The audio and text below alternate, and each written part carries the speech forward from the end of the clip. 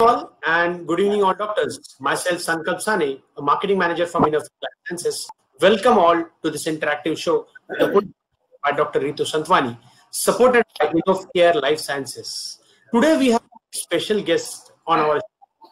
She is the of the teachers, Dr. Nandita Palshetkar. Welcome ma'am. Welcome ma'am to this show. Thank you. Yeah. Thank you. Also we have our eminent speaker, Dr. Ritu Santwani. Welcome ma'am. Yeah, And- thank you, Sankalp. Huh. Yeah, we have our CEO, Mr. Amit Mehla, with us on this special show. And over to you, Amit sir, and welcome to you. Yeah, hello, Very Amit ji. People say. Hello, madam. Hello, Yeah. madam. Welcome, ma'am. madam. So very good evening to all of you. Uh, warm welcome on behalf of entire team of InnoCare in this webinar series of Pundit Show.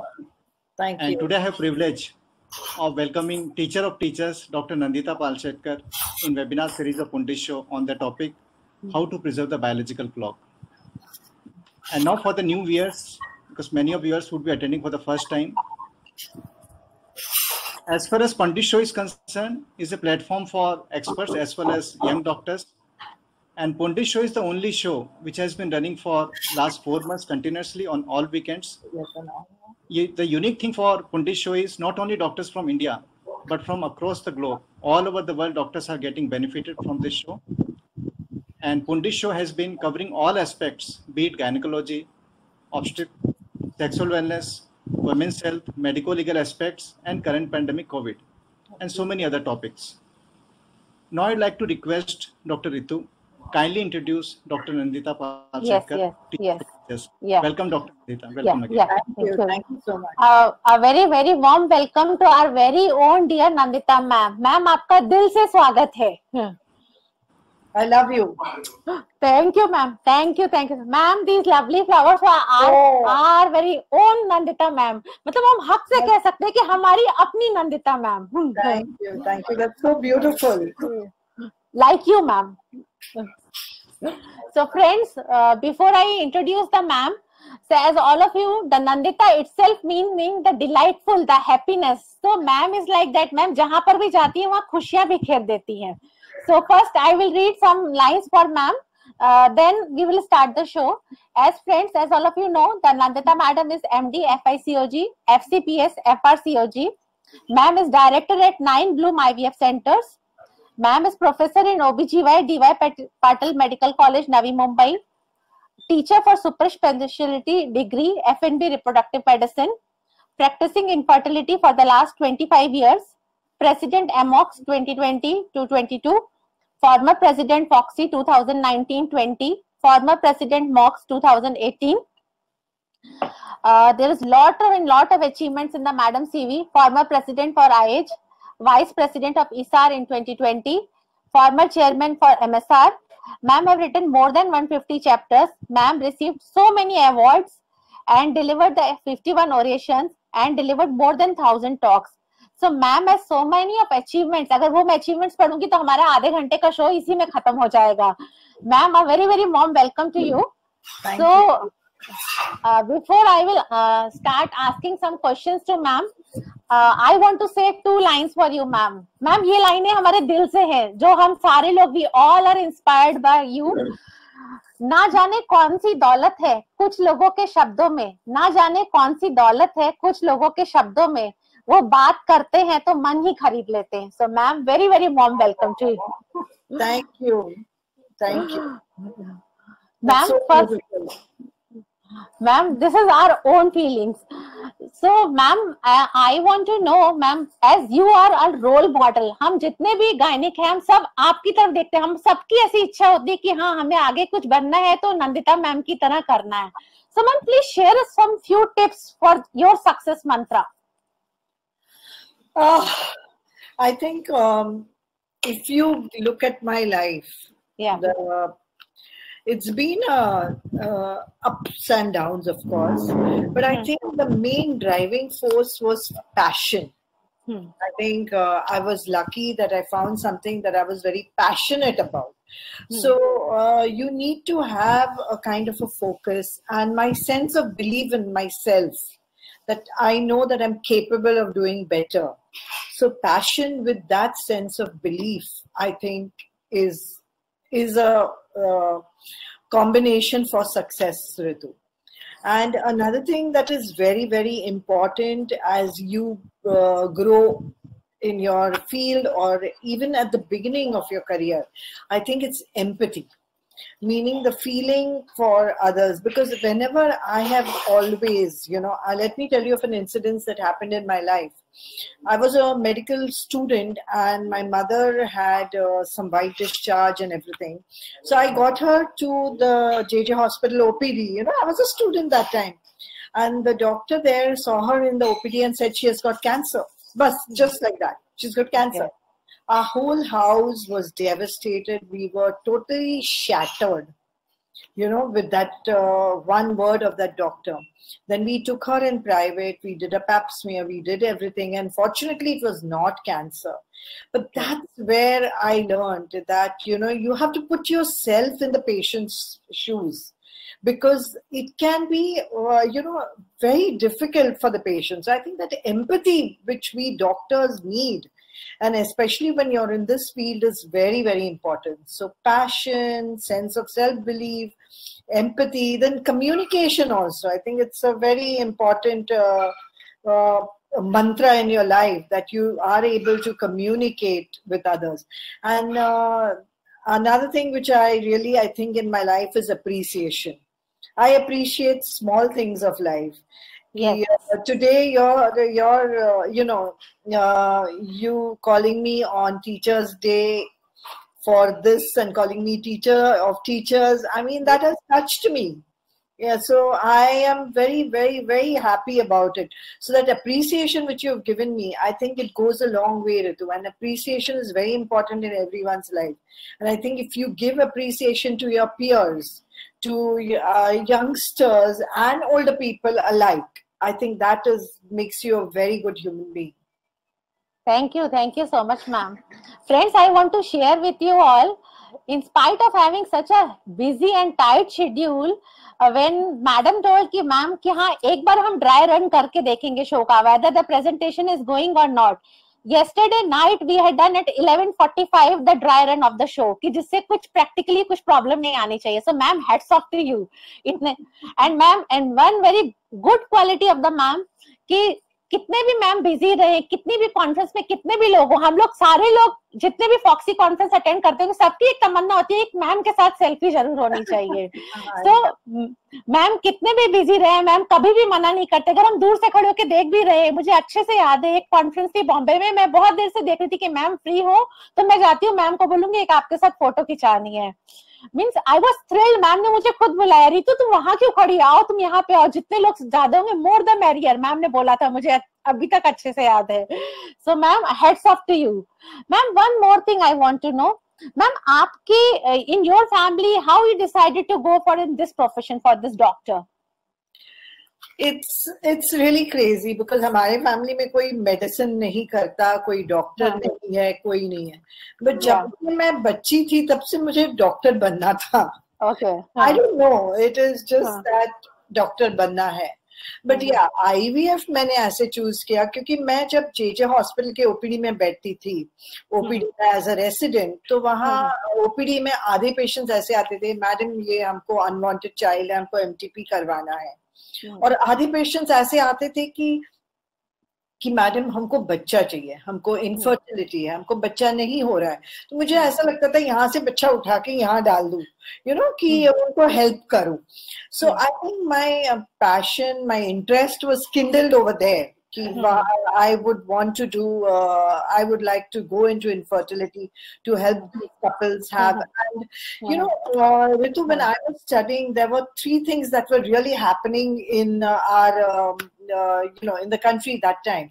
I was working in a unit where uh, their technique was very good. You know, we had Dr. Purandare, Dr. K.K. Deshmukh. They were fantastic surgeons.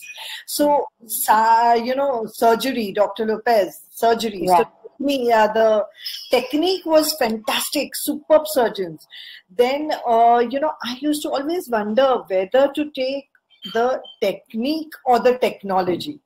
You know, I was at the crossroads ki technology जाओ या ये अरे बाप रे क्या technique है क्या सोच रही है चलो वो करते हैं but of course I finally went into technology and I decided to you know go in that direction but i think that was one of the uh, the things that was happening in those days endoscopy was there you know uh, genetics had come in and all those new things in the horizon and uh, it really made a lot of difference Okay, okay. Thank you. Thank you so much, ma'am. Ma'am, there are some doctors are requesting for us to start the lecture. So first we will listen with ma'am uh, how to uh, regarding this biological clock. Ma'am, some doctors have joined from the Nigeria. They have dropping the message. So, today we are going to discuss how to preserve the biological clock. I think that's an eternal question which has been there all down the ages.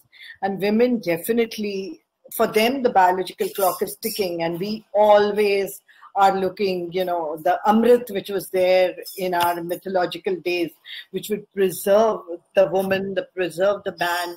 But definitely we haven't found our Amrit yet. But let's look at something which is close to it. I think uh, if we look at science, the cryopreservation was something remarkable. Uh, there are many disruptions in science which actually uh, bring about a great change. One minute, one minute. Sorry. So, cryopreservation was one of those milestones which brought about a major change. And that was something that was really needed, and it gave IVF a new life. And uh, I will tell you why. If you look at this picture, this is Miss Diana Hayden and her husband Colin. They uh, they are right now in Nairobi. There are a lot of people from Africa. They are in Nairobi, and these are the three children born. And Diana has had these children at the age of 40 plus. You know how this was possible? Diana was a young girl, Miss World in 2006. She came to me in December. I think it was 2006, December. Yeah. She came to me and she said, I have heard of this technology in America about egg freezing, and I want to preserve my eggs because I haven't found the man of my choice.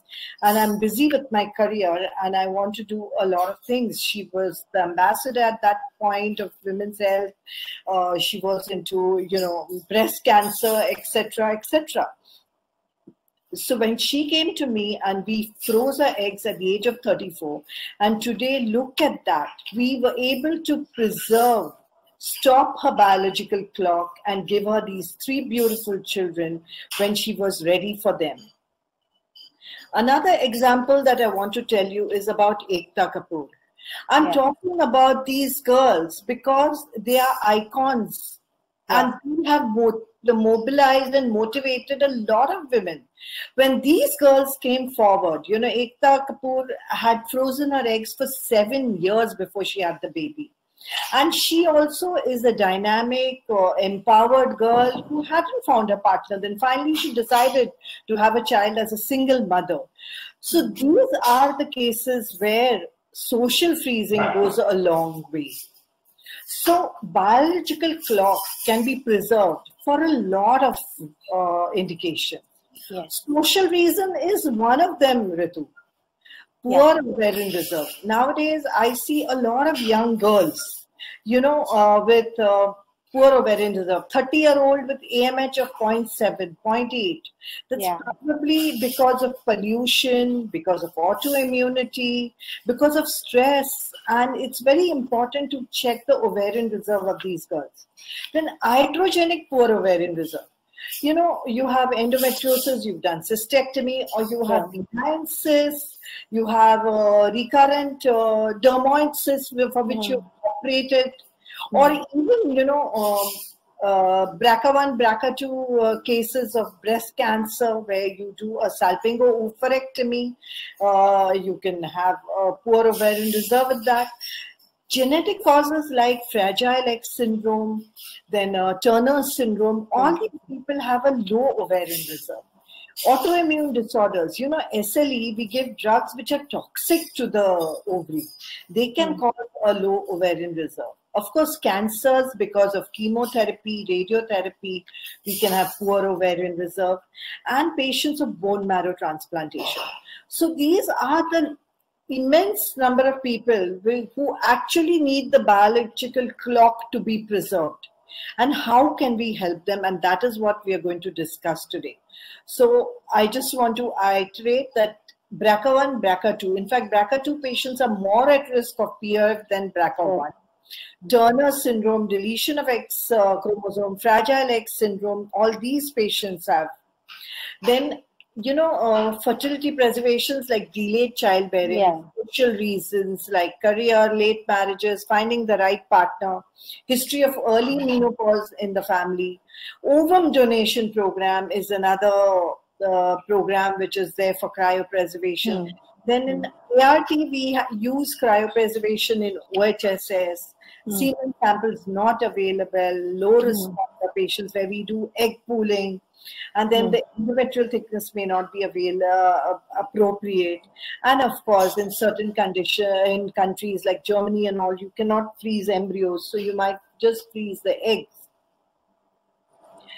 Uh, there was this really the study about age-related decline, knowledge about how many people know, and it was really dismal that people did not know about egg freezing, and that is why I think uh, I must congratulate Ritu that Yeah. you have taken this very innovative topic because Yeah. the awareness is not there, and I think we really need to talk about it and uh, spread the awareness of this technology which is available to everyone now. So, Yes. Ritu, I'm really happy you took on this topic as for the seminar.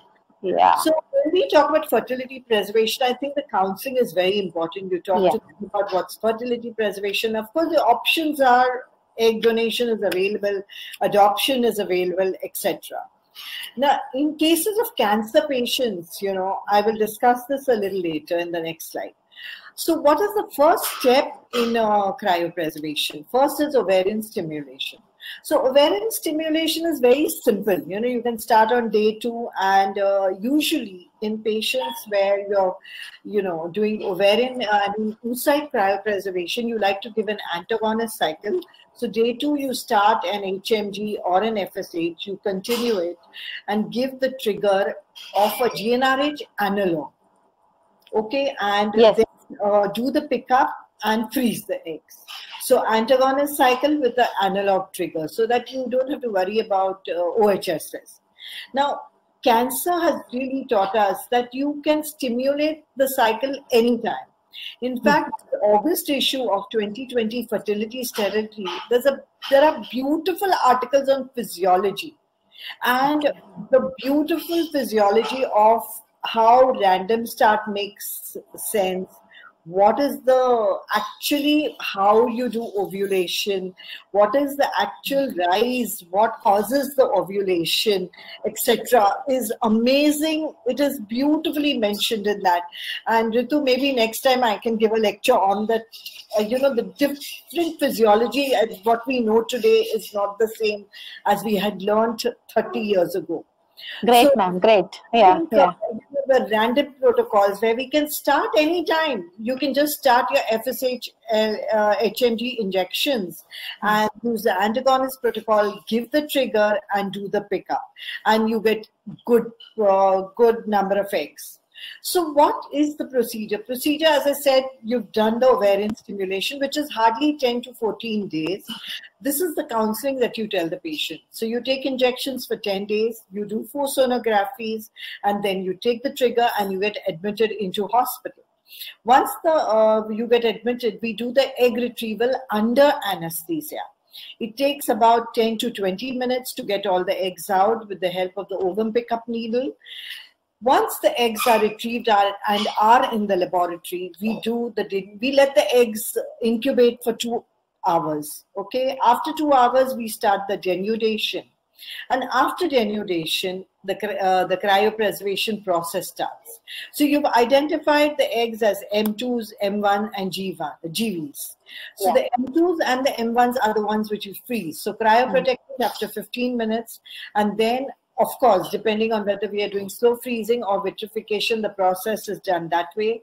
The storage of, and uh, once they are either frozen with slow freezing or vitrification, they are stored. And when you want to use them, we do thawing, then we do ICSI after two to three hours with spindle view and laser hatching prior to embryo transfer. So this is the whole process of getting the eggs and hmm. achieving a baby. Of course, the storage can be kept from typically from five years to 10 years. In England, it's allowed only for five years. But during COVID times now, they've increased it to 10 years. As I told you, my patients whom I mentioned have kept them typically from seven to 10 years. So, what is the difference in the technology? There's slow freezing and there's vitrification. If you can look at this graph, this blue line which is there, you know, the blue line which is there, there is a drop in temperature from plus 37 degrees to minus 96 degrees. The drop is minus 25,000 degrees centigrade per minute. It's so rapid, and that is vitrification. So there are no ice crystals which will damage your spindle.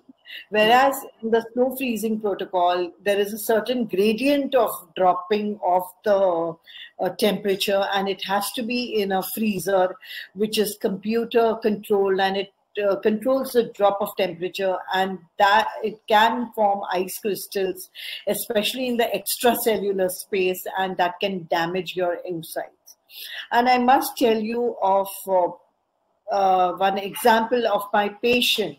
You know uh, in november i had this celebrity patient who came to me.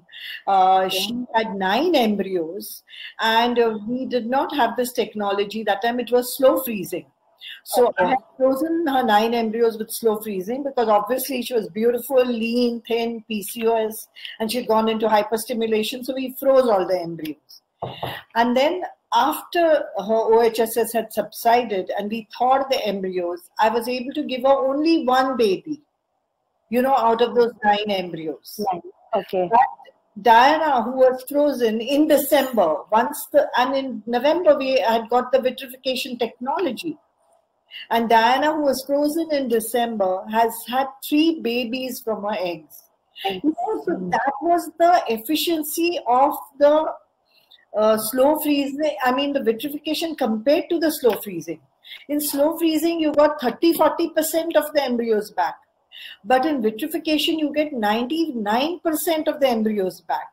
So that was what really revolutionized the whole IVF. The, the success rate, which was 30%, jumped up to cumulative pregnancy rates, which are now in the range of 60% to 90% over four to six cycles. So this is the technology which has brought about a disruption in our field, and it's amazing. And this was the famous Ana Cobo's, uh, you know, RCT, where Yeah. she showed that uh, 16 studies, 3,000 plus patients, where the odds ratio showed completely in favor of vitrification, that it was a fantastic technique and gave uh, wonderful results our egg freezing data at Bloom IVF today, as far we have 17,000 plus uh, eggs frozen. The donor oocytes actually there's a slight mistake. Uh, The donor oocytes are 12,000, uh, uh, about 10,000 plus. Okay. And social egg freezing we've done 7,000. So total number is about 17,000 eggs, and the success rates, as you can see, is 56% in a fresh donor cycle, and thaw donor cycle is 64%. And believe me, it is a fantastic technology. And thanks to these two patients of mine, you know, who have talked about it openly, and a lot of girls from the Bollywood, from uh, you know, from pharma industry, lawyers. A lot of mothers came with their daughters who were going abroad for education to freeze their oocytes, and a lot of other patients, which I'm going to discuss further, have come and frozen their eggs, and it's a Yeah. fantastic technology. So age and number of eggs is really important. The if you look at it, that if you want one good euploid, normal chromosomal embryo, then if the patient is younger than 35, five, more than less than five eggs are enough. Between 35 and 37, five eggs are good enough. 38 to 40, you need seven eggs. 41 to 42, you need 10 eggs and more than 42 you need 20 eggs. Now this is something that you need to remember when you're doing cryopreservation of patients. And you need to do the counseling and to tell them. Sometimes you know in cancer patients i need to do multiple cycles because uh, their egg reserve is lower. And if we get a chance we definitely do it. Very nice yeah. Endometriosis is something else ritu which is something which is very close to my heart and i want to tell people that when Hmm. you're treating adolescent patients when you're treating young girls who don't want to get married who are not yet married Hmm. remember when you operate for endometriosis you're re- reducing their ovarian reserve and secondly it's a recurrent disease please give them post-operative medical therapy and keep checking on them. Keep doing follow up on them. Do ultrasounds follow up ultrasounds follow up amh for the ovarian reserve. And if you feel the amh is dropping do their fertility preservation. Don't tell them uh, you know that uh, you've got endometriosis now you better get married fast and have a child fast. They don't want to do that so offer them fertility preservation. And uh, in fact i don't have that uh, uh, study but Ana Cobo in uh, fertile sterile july issue of 2020 she had uh, something like 600 plus patients and uh, they were you know they were all endometriosis patients and they were did fertility preservation before undergoing uh, surgery.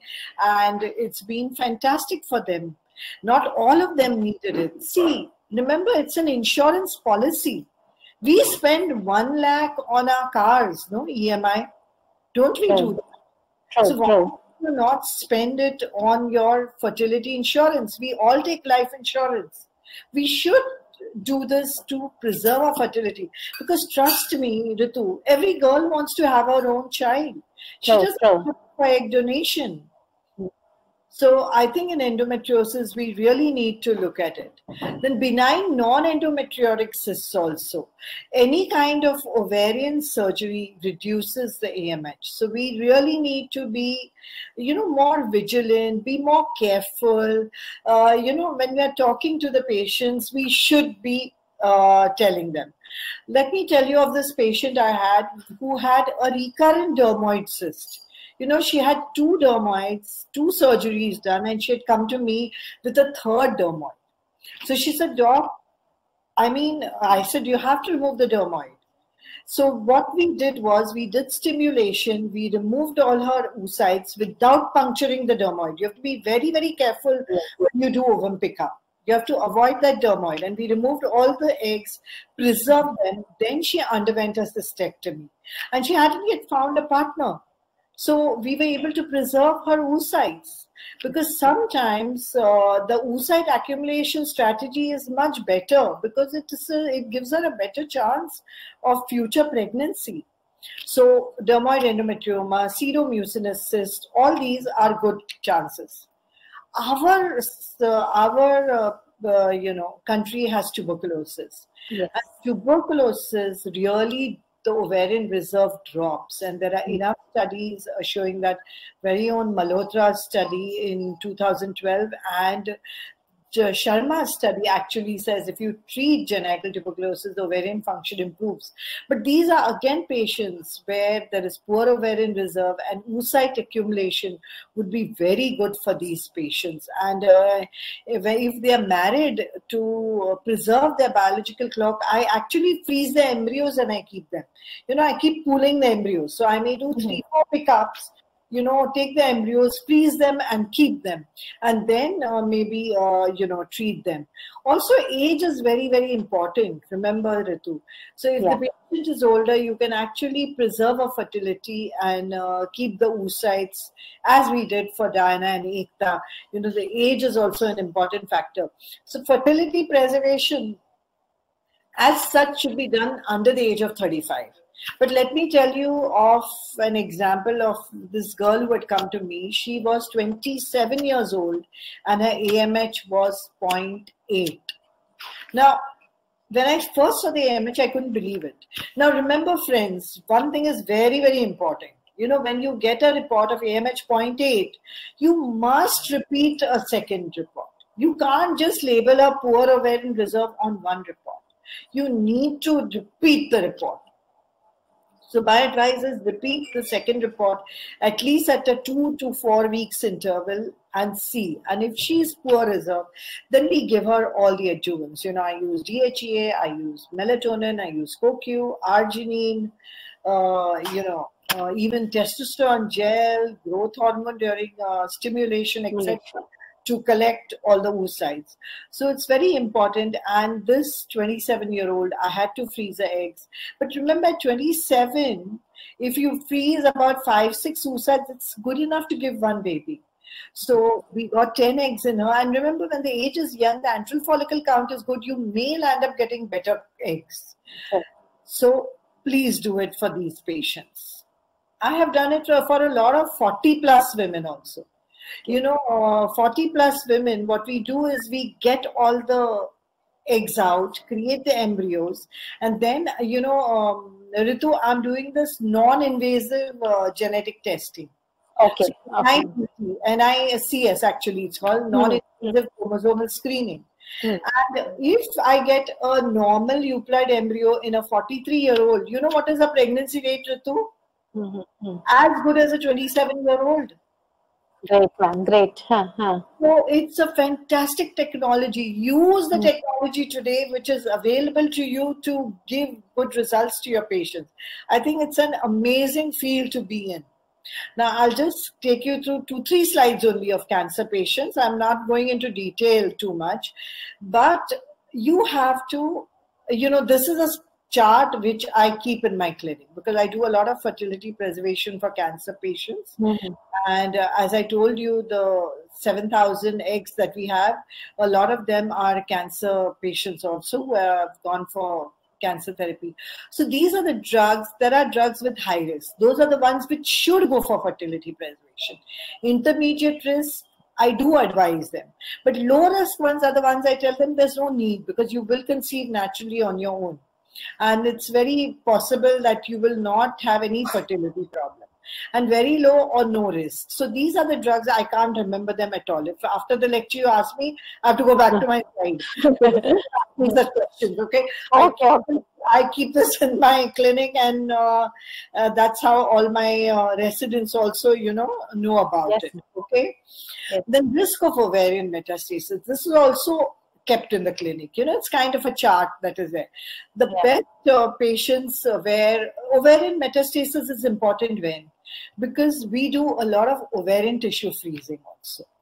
So some cancers, you know, it's better to do ovarian tissue freezing, like breast cancer stage one, two, uh, and infiltrating ductal type so you can remove the ovary because they are sensitive to tumor uh, they are sensitive to the estrogen progesterone. So it's their bso is advised in these patients.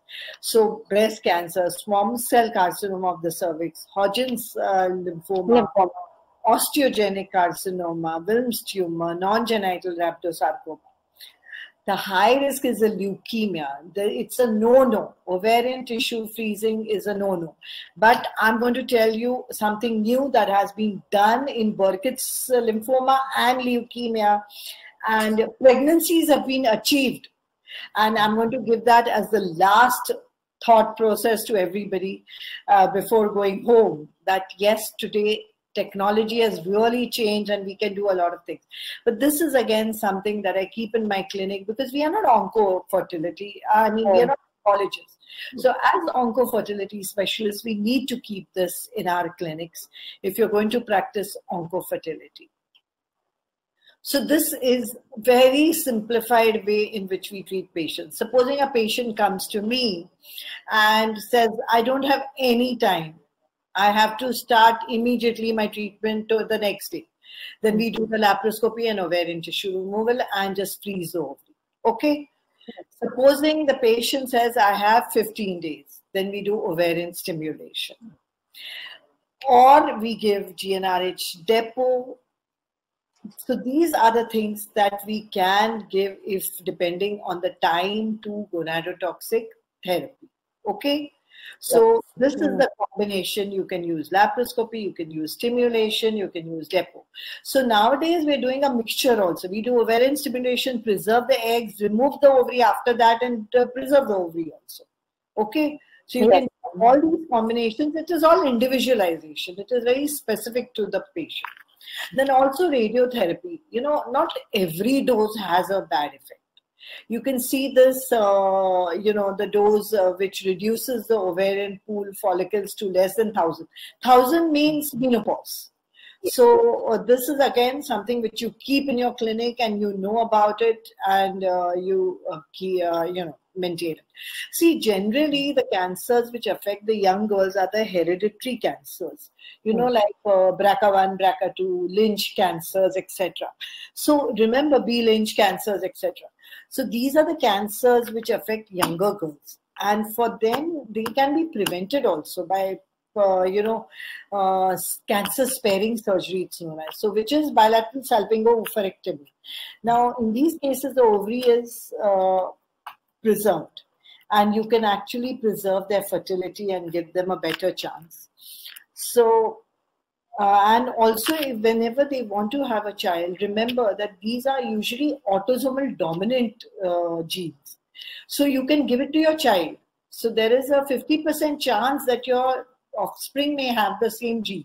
So you can actually do NICS, that is PGT-M, PGT for monogenic diseases, that is autosomal dominant uh, gene is identified in the baby and those embryos are taken away. They are not put back into the womb.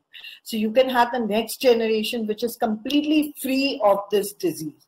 So remember this is the counseling that you need to give your patients who have these problems Yes. i really love this you have to tell me about the time otherwise i can go on and Ma'am, amazing, mesmerizing lecture, ma'am. So many doctors are joining. I'm welcoming some from the Germany, some from the Nigeria. So okay great very nice. Yeah.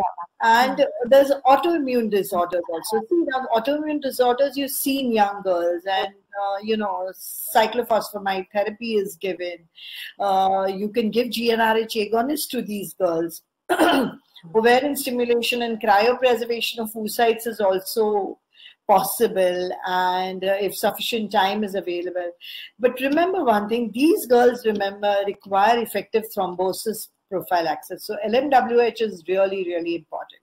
And if ovarian reserve is sufficient cryopreservation of ovarian tissue is also an option before you start these toxic drugs. But uh, oocyte cryopreservation is much easier and uh, but uh, you know this is very radical. It's still experimental the ovarian cryopreservation. So you need to take permission etc factors affecting the success rate. I think the age is the most important factor. Earlier the age that is the quality of your eggs. So uh, obviously the age is important. The cause of infertility because endometriosis reduces the ovarian reserve etc cancer reduces the ovarian reserve. Then whether it's donor or non-donor donor then you have good quality eggs you have good number of eggs so there's no problem. Stimulation protocols you know uh, like supposing uh, she's sensitive uh, the cancer breast cancer is, uh, is er pr positive HER2 strongly positive then obviously you have to use letrozole protocol so there are less number of eggs. Then the number of oocytes that you get the cryopreservation method is generally vitrification and of course indication. Is ovarian tissue freezing superior to egg freezing? Yeah because it's more natural no? It restores the natural fertility but the drawback is of course in those uh, cancers you know where you have a higher chance of metastasis it should not be used.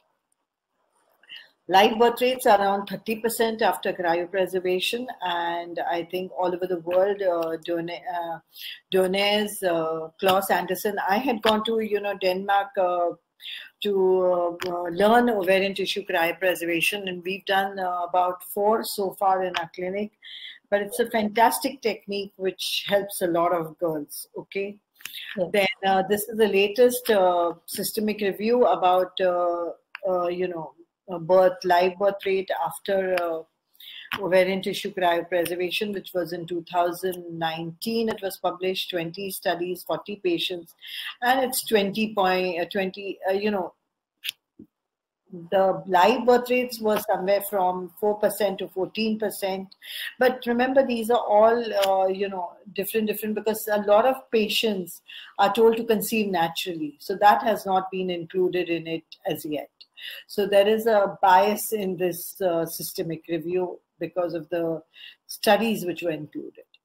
Then of course uh, uh remember that leukemia is the worst. So refrain from transplanting the uh, ovarian tissue in cases of leukemia because there are micro metastases which you cannot see. And autotransplantation is safe in lymphoma patients. And uh, laparoscopic uh, oophorectomy, you know, in children you cannot preserve the eggs. So in children, it has been done. This was 2019, and ovarian tissue cryopreservation remains an experimental means of fertility preservation in children, but it has shown to give good results. And there was a meta-analysis which showed that it has really good results and uh, this is xenotrans there are new techniques which are there xenotransplantation. So you can transplant the ovarian tissue into immunodeficient animals to generate oocytes uh, especially when the, there's a high risk of tumor cell contamination in the ovarian tissue and oocytes can be obtained uh, you know uh, to create the embryos. So far, no generation of embryos. Then in vitro growth is cultivation of the ovary tissue or isolated follicles to generate oocytes. And uh, artificial ovary, let me talk about that. So Oktay is a guy who's done fantastic work in breast cancer. And in uh, American Journal of OBGYN in Jan 2016, he published these two case studies where you know he used alloderm. Alloderm is what? It's used in cosmetic surgery.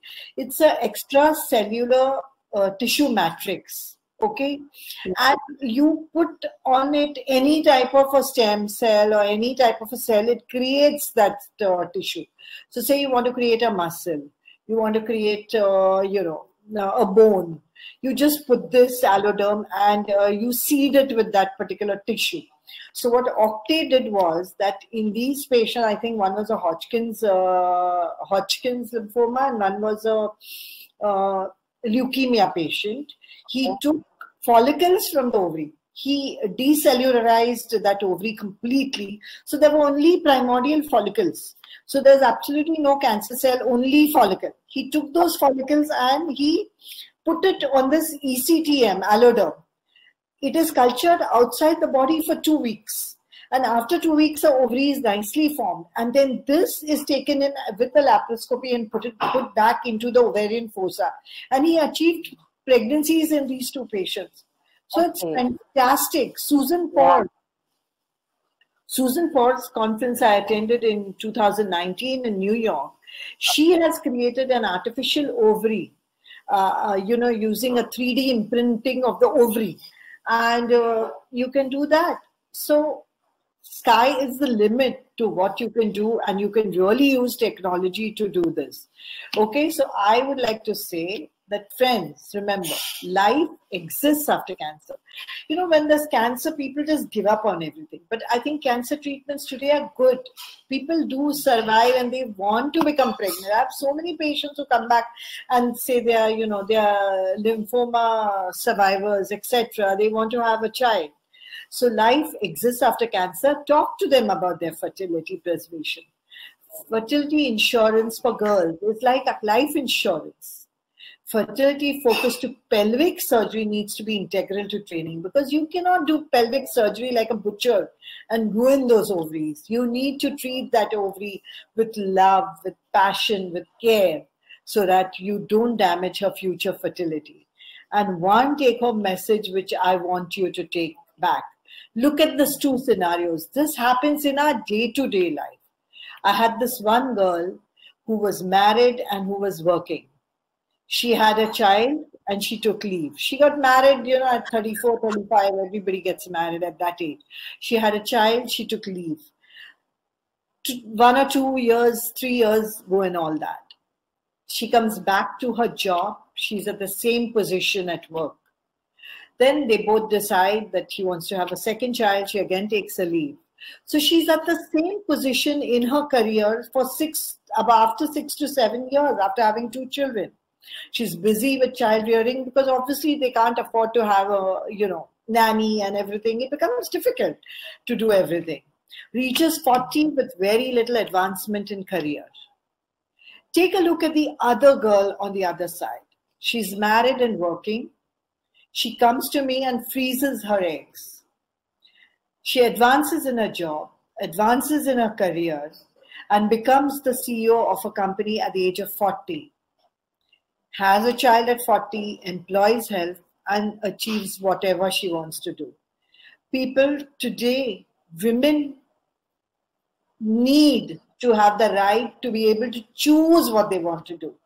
And this biological clock should not stop them from doing what they want, need to do. And this is women empowerment. And we as doctors should be able to give them this choice. I'm not saying do it in every woman, but if the girl wants it, who are we to deny it to her? It is an ethical conundrum.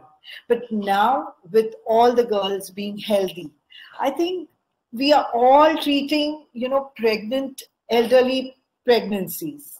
And with the advances in technology, we can definitely take care of them. And I think it is that girl's right. It is important to empower her and give her that option. Thank you. Thank you. Please help her biological clock from ticking forward. Ma'am, as you told about this, ma'am, is it any legal implications? There are some queries by the doctor. Is it any legal implications No, for this now- egg freezing? Any other now specific permission they need? 2012, ASRM declared it as non, you know, before that it was experimental, but Yeah. now it's non-experimental. It's So, uh, absolutely legally permissible. Ma'am, for that they have to take any other additional permission from the PCPNDT? I mean, if you have an IVF permission, that's okay. You don't need yeah, it. yeah, yeah, yeah, yeah. Ma'am, as you mentioned in your lecture, that uh, every time we have not to be uh, focused on a single AMH reading. We have to do at least two AMH readings, Yeah. uh, minimum four to six weeks apart. Two to four No, weeks. Yeah, to so four weeks. patient will go to another center. Another doctor, yeah. So, uh, ma'am, so in between this four weeks, two to four weeks apart, uh, what's your protocol? You start at that time the supplements, or you start only after the two readings? No, I start after the two reading, but I don't give DHEA plus, but I give arginine, I give CoQ. I just hold DHEA. Okay, okay, ma'am. Thank you so much, ma'am.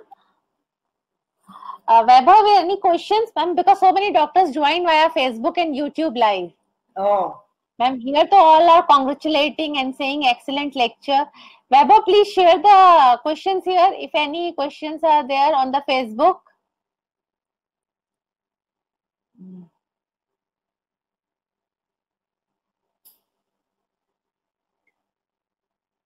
Ma'am, only one second. I'm just checking for the question. no problem. No problem. I think it was, how long did I talk? 40 minutes. Oh my God. Oh, that was amazing, ma'am. Ma'am, see, so many compliments are now coming. Rose, Dr. Rosie Sharma, really very good lecture. All are complimenting. So thank you, thank you so much, ma'am. Ma'am मुझे तो इतना अच्छा लगा मुझे लगा मैं एकदम अकेली स्टूडेंट होकर मैम के साथ पढ़ रही हूँ I got that privilege thank you thank you so much ma'am thank you ma'am for enlightening all of us ma'am all are giving the compliments yes all are giving the compliments Thank you. Thank you. Thank you, ma'am, for giving your precious time to me. Thank you. Thank you so much, ma'am, enlightening for all of us by your immense knowledge. Thank you, ma'am. Thank you once again. It was a pleasure. It was a pleasure. Yeah. So with this, friends, we are winding up now today's session. Thank you to Innovacare Life Sciences also constantly doing this educational activities. So friends, it's the full September and October month as our FOGSI is full of gurus. So I am celebrating this full September and October month as a Teachers' Day celebration.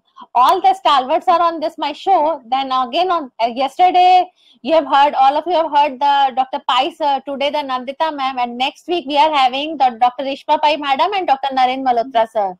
So friends, I think Ritu, I want to say thank you to everybody who is logged in. I mean, Yeah. it's pleasure that you're all there, and thank you, Innov Care. I think Sankalp, and uh, it was really nice of them to arrange it, and I'm so happy. Are they still there? yeah, yeah. Over to you, Sankalp. Are you here?